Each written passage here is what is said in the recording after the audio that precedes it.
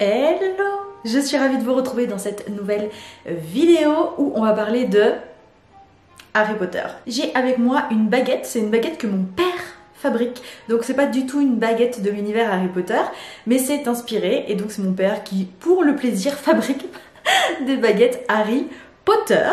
Aujourd'hui, on va pas parler des baguettes de mon père, mais on va plutôt parler de la collection Harry Potter et She Glam. C'est une collection en make-up qui est sortie à l'été 2023. Au moment où je tourne cette vidéo, ça fait déjà un peu plus d'un mois qu'elle est sortie. J'ai longtemps hésité à acheter la collection et à vous en parler. Mais il faut dire qu'après avoir fait un sondage sur YouTube, vous avez été quand même assez nombreux à vouloir voir cette collection sur ma chaîne donc j'ai fini par sauter le pas et j'ai acheté certains produits alors je n'ai pas acheté la collection en entier euh, quasi quasiment en entier, mais il y a certaines palettes que je n'aurais jamais utilisées. Donc je vous mettrai les visuels à l'écran, mais je les ai pas achetées. Vous l'aurez compris, cette vidéo n'est pas en partenariat avec Shiglam. C'est d'ailleurs la première fois que je commande sur le site Shiglam j'ai jamais commandé, donc vous aurez compris que je n'ai jamais testé le maquillage Shiglam. Je sais pas du tout ce qu'il vaut. Donc là, c'est un gros crash test de l'expérience Shiglam de façon générale, puisque je n'ai jamais testé la marque. J'ai reçu ma commande en environ 10 jours, ce qui est quand même assez rapide. Je m'attendais pas du tout à ça. Je pensais que j'allais attendre, je sais pas, 4 semaines avant de recevoir ma commande. Mais non, c'était quand même assez rapide, du moins plus rapide que ce que je pensais. J'ai pas choisi de livraison express ou quoi que ce soit. Non, j'ai été dans le standard du standard Ma commande globalement m'a coûté pas 33 euros, donc euh, j'ai trouvé que les prix étaient très raisonnables. Par contre, à ce prix-là, l'expérience est pas géniale côté réception du paquet. C'est arrivé là-dedans. Donc une pochette euh, plastique des plus basiques. Hein. Et les produits étaient comme ça. Ils sont très bien emballés, ça on peut pas dire le contraire. Par contre, clairement, ça fait pas chic, ça fait vraiment euh, make-up ultra cheap. Donc euh, ça, j'aime moyen moyen quand même. Je dois avouer que je m'attendais au moins à recevoir dans un carton, dans un truc avec un petit truc Harry Potter, vous voyez, sans dire le colis presse, mais au moins un carton avec marque Harry Potter, c'est quand même la collection Harry Potter. Et non, non. Si un produit là est cassé, je vous jure, je crie au scandale. Mais je crie littéralement au scandale, ce n'est pas normal. Donc normalement ça devrait aller, on va voir ça tout de suite ensemble. Au programme de la vidéo, on va juste tester le make-up, on va voir ce que ça donne. Et voilà. Et ah, et d'ailleurs, puisque je parle de l'expérience Shiglam, j'ai donc, c'est donc, ça vient de Chine. Euh, je n'ai, pas payé, je n'ai pas eu de lettre pour payer de la TVA et ni de lettre pour payer des frais de douane. Donc euh, pas de TVA et pas de frais de douane dans ma boîte aux lettres à la réception du colis. Ça, c'était une bonne surprise.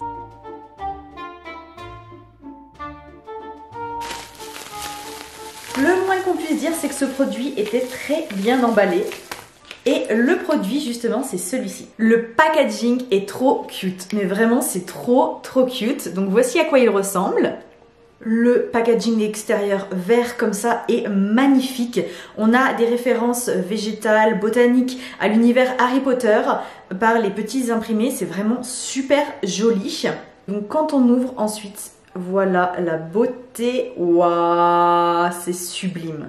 C'est pailleté comme ça, c'est vraiment super joli. Je vais l'appliquer sur les lèvres tout de suite pour voir un petit peu euh, ce que ça donne. De toute façon, j'ai rien du tout. Je me suis ni maquillé les yeux, ni maquillé les lèvres. Donc on va tester ça. Oh, Trop joli on a un petit côté vert quand même sur les lèvres. C'est pas totalement transparent pailleté, il y a quand même un léger film vert, donc ça il faut aimer clairement. Mais c'est très discret. Je trouve le rendu euh, joli. Euh, ça n'ira peut-être pas à toutes les carnations et ça ne plaira peut-être pas à tout le monde, mais moi j'aime beaucoup, je trouve que c'est très sympa. Et si vous vous demandez, oui, les paillettes partent un petit peu après application. Donc le nom complet de ce produit c'était le Gifted Herbologist Glitter Lipstick rouge à lèvres pailleté herboriste de talent. Sur le côté ici il y a un texte qui est en rapport avec l'univers Harry Potter et en gros globalement hein, en anglais ils disent euh, soyez prêts aujourd'hui c'est votre euh, cours d'herbologie donc voilà il va falloir rempoter les mandrakes et donc euh, voilà c'est très sympa très mignon c'est une petite touche en plus. Next j'ai acheté deux palettes je suis trop contente. Donc c'est tout est made in China. J'ai oublié, je sais pas si je l'ai précisé, mais c'est made in China. Attendez, je vérifie pour le lipstick. Alors, où est-ce que c'est marqué? Hmm. China également. Comme je vous disais, j'ai acheté deux palettes.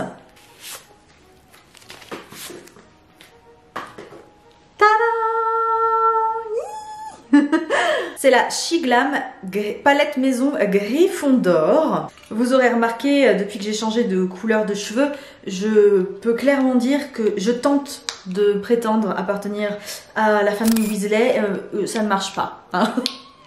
ça ne marche absolument pas. Déjà, mon roux est beaucoup trop cuivré pour être un vrai roux Weasley. Mais j'essaye, j'essaye désespérément. C'est une très jolie palette, on a une sorte de... Bon, c'est du faux, hein, mais un genre effet cuir avec ici des... Ça fait un peu métal. C'est très sympa. Je trouve ça très élégant. C'est un côté élégant et rustique à la fois qui correspond plutôt bien à l'univers Harry Potter. Donc j'aime bien, c'est très joli. Et euh, derrière, on a un petit texte. Quand on l'ouvre, on a donc un petit film de protection et à l'intérieur, pas de miroir, par contre quatre jolis phares. Je vous les montre de plus près. Le phare lumineux là a l'air incroyable. Ils sont un petit peu, ils ont voulu mettre euh, des impressions à l'intérieur. Je trouve pas que ce soit le plus joli, ça c'est censé être un lion. Je trouve pas que ce soit ultra, ultra bien fait, mais il y a quand même une tentative. Très jolie petite palette. Je vais ouvrir l'autre et après on swatchera tout ça.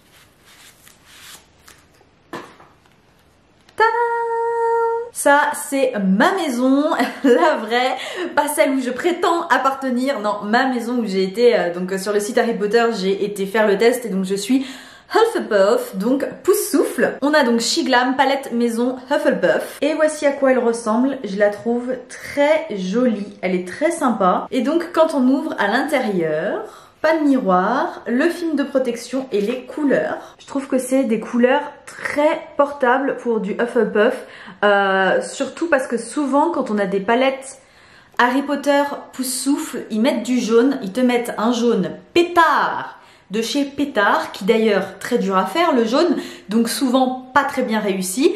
Et euh, du coup là, ils nous ont mis un jaune moins pétard, un peu plus portable. C'est pour ça que j'ai beaucoup aimé cette palette. Donc voici ce que ça donne côte à côte. Les palettes, elles sont vraiment sublimes. Je vous disais, je n'ai pas acheté les deux autres palettes de la collection vous vous doutez bien qu'il y a donc une palette euh, Ravenclaw et une palette Slytherin, donc Serre d'Aigle et Serpentard. Je ne les ai pas achetées même si elles sont très jolies, c'est juste que le bleu et le vert, ce sont des couleurs que je porte assez rarement. Donc j'aurais acheté pour vous présenter et je n'en aurais jamais rien fait, j'aurais consommé pour consommer, ça ne servait strictement à rien. Donc je vous les affiche à l'écran, elles sont très belles. J'ai vu une vidéo d'une anglaise, je vous mettrai ça en barre d'infos, qui swatch toutes les palettes. Si vous voulez aller voir ça de plus près, c'est en anglais, mais bon, vous pouvez juste regarder le passage où elle swatch, les palettes. En tout cas, euh, la qualité des fards a l'air pas mal. Notamment euh, le, la Slytherin, ça a l'air assez incroyable. Bon, comme je vous disais, je porte pas de verre, donc voilà. Donc voici ce que ça donne pour les swatchs de la maison Gryffondor. Je suis assez impressionnée, c'est très joli. Vraiment super joli. Je précise, j'ai pas de primer sous mes swatchs, je n'ai pas non plus de fond de teint ou quoi que ce soit. Donc voilà, je vous montre de plus près. Mais c'est très sympa. Un tout petit peu déçu par la luminosité de ce phare pailleté, même s'il est joli. J'en ai connu des mieux dans les cosmétiques coréens mais euh, c'est quand même très joli et facilement portable. Très impressionné par ce phare là, hum, il est sublime, magnifique. Et voici ce que ça donne pour les phares Hufflepuff, très sympa également, vraiment très sympa. Euh, je vous montre de plus près, mais on a euh, vraiment des couleurs assez sympas. C'était très facile à appliquer, je vous dis tout de suite. C'est de la poudre, hein, mais ça glisse très bien. Donc j'ai l'impression qu'ils vont être faciles à estomper.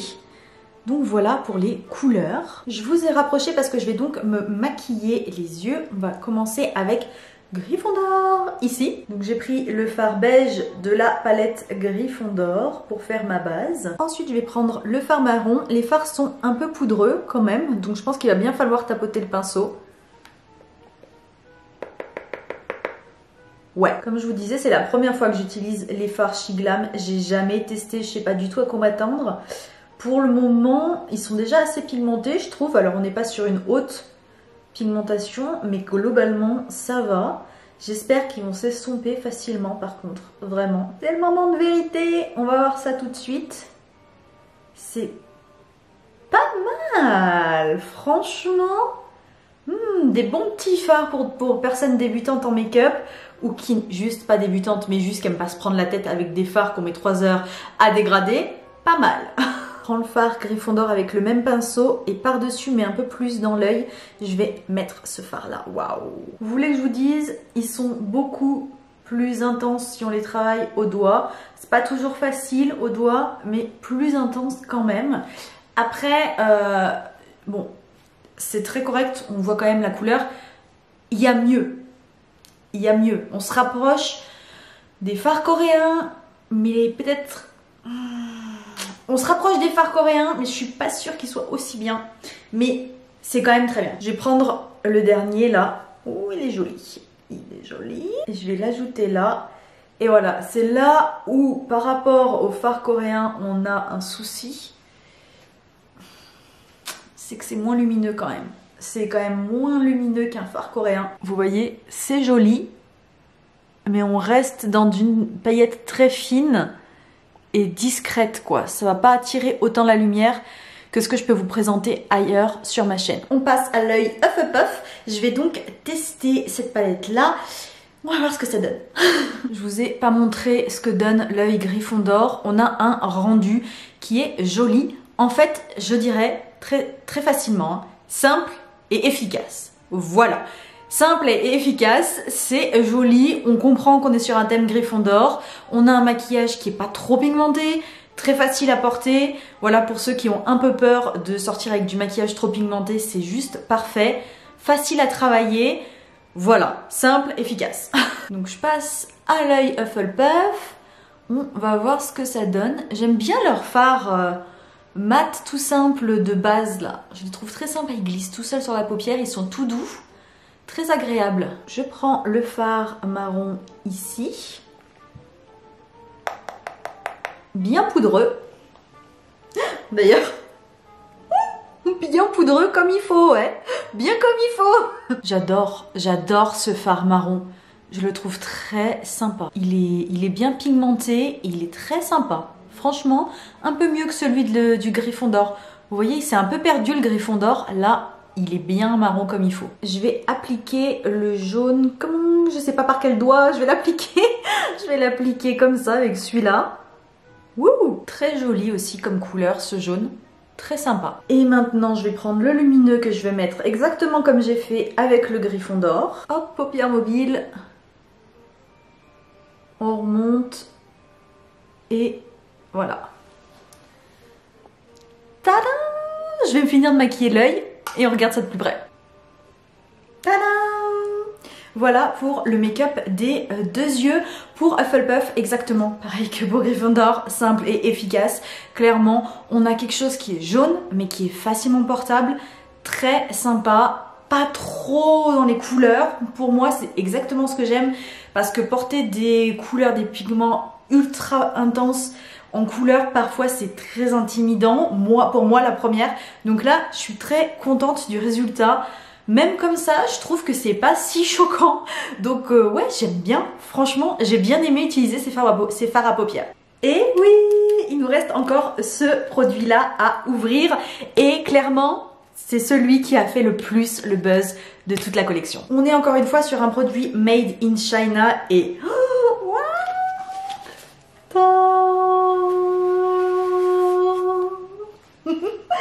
Sérieux, c'est génial. Le packaging est génial, mais génial. Shiglam, coffret de brillant à lèvres, Bruise, ensorcelant. On a un effet livre potion qui est super. Franchement, regardez, c'est vraiment trop bien fait. On dirait vraiment un livre, c'est super sympa. Et quand on ouvre à l'intérieur, waouh, waouh, waouh, waouh. Quand on l'ouvre, on a vraiment un petit coffret trop sympa et le packaging est incroyable. Donc nous avons les Bewitching Bruise Lip Gloss Set. C'est donc le set complet des gloss pour les lèvres sur le thème des potions. On a Felix Felicis Polyjuice Potion, donc la potion de Polyjuice, Amorencia et Draws of Living Death. La première fois que j'ai vu ce produit passer sur les réseaux sociaux, je me suis dit, coup de génie. Très très bien fait, c'est super. Alors ce sont des glosses, que ça plaira ça certainement pas à tout le monde, mais de prendre l'idée des potions et de faire un packaging comme ça, je trouve que c'est très sympa. J'ai eu la chance de mettre la main sur le kit complet avec le livre, etc. Mais je sais que, enfin du moins je sais, j'ai cru comprendre que la, collection Harry Potter sur Shiglam était très, très populaire parce que quand j'allais voir donc pour regarder euh, les produits, très régulièrement il y avait des produits out of stock donc qui disparaissaient carrément du site et qui revenaient plus tard. Et notamment ce kit là je crois que pendant trois semaines il avait disparu du site et je me suis dit c'est vraiment dommage parce que quitte à tester je voudrais tout tester. Et au bout de trois semaines, quand il est revenu, j'ai sauté dessus. Sinon, on avait genre que cette teinte ou ces trois teintes et pas celle-ci, enfin vous voyez le genre. La collection Harry Potter Shiglam a également un baume à lèvres sous forme de petit chaudron qui est très sympa. D'ailleurs le packaging me fait un peu penser au packaging des crèmes ou des masques à lèvres Frudia. Oui, pour ceux qui connaissent la K-Beauty, ça ressemble quand même beaucoup. J'ai pas acheté parce que des masques pour les lèvres, j'en ai plein et j'ai pas besoin en fait, j'ai juste pas besoin. Mais là par contre ça, on va tester ça tout de suite ensemble. J'enlève ce qui reste du, euh, gloss, enfin, du lipstick gloss euh, d'herbologie et il en restait un peu dessus quand même, hein, un petit peu, un petit peu. Je vous propose qu'on les commence dans l'ordre. Je vais commencer par Félix Félicis, donc la potion de chance. Le packaging très réussi, je me répète, mais vraiment très réussi. Et regardez ces micro paillettes, c'est superbe. Donc on dévisse et ensuite on a un applicateur qui est un applicateur silicone. Oh Waouh oh, C'est très beau. On a un gloss discret, on a quand même quelques paillettes. Je vais essayer d'en rajouter une deuxième couche juste pour voir si on arrive à avoir un peu plus de, de, jaune.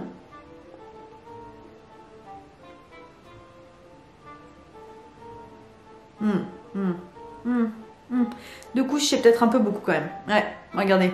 Ah, il fait les fils là. pas deux couches, non.